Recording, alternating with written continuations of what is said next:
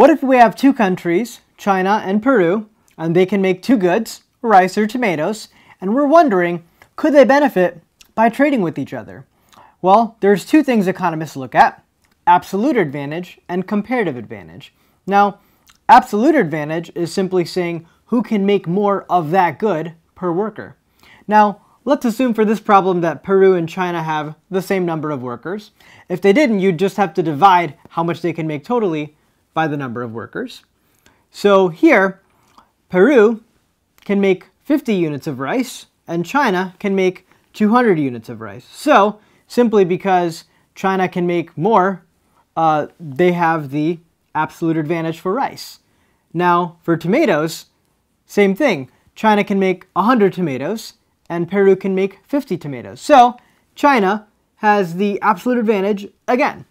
Now, notice it's clearly possible to have the absolute advantage for both of the goods. Or you can also only have the absolute advantage for one of the goods if we change the numbers around, or for neither of the goods. Now, here's the thing though. What economists look at is comparative advantage. That's really what matters more. Because if we wanted to decide trading based on absolute advantage, we'd say that China has to make both goods. But really what matters is the comparative advantage. And what that is, is that it's who has the lower opportunity cost for making that good. That's why we looked at opportunity cost earlier in this video. Now let's put it to use. So, what is Peru's opportunity cost for tomatoes? Well, let's see. Their opportunity cost for tomatoes is the amount of rice over tomatoes, so 50 over 50. So that's equal to 1. Now, what is China's opportunity cost for tomatoes? Well, 200 rice over 100 tomatoes, which is 2. So, their cost is 1, their cost is 2.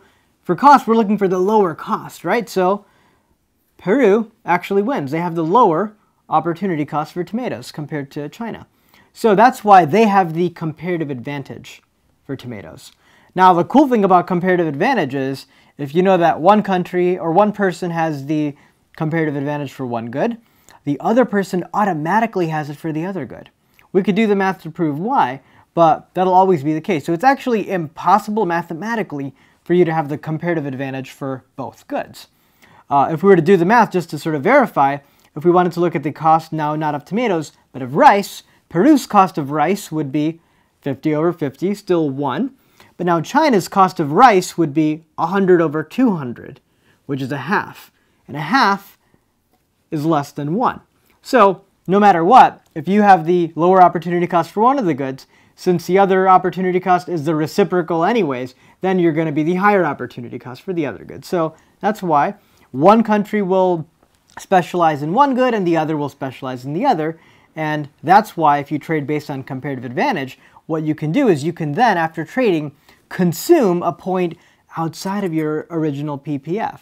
So a previously impossible point for both countries is now attainable.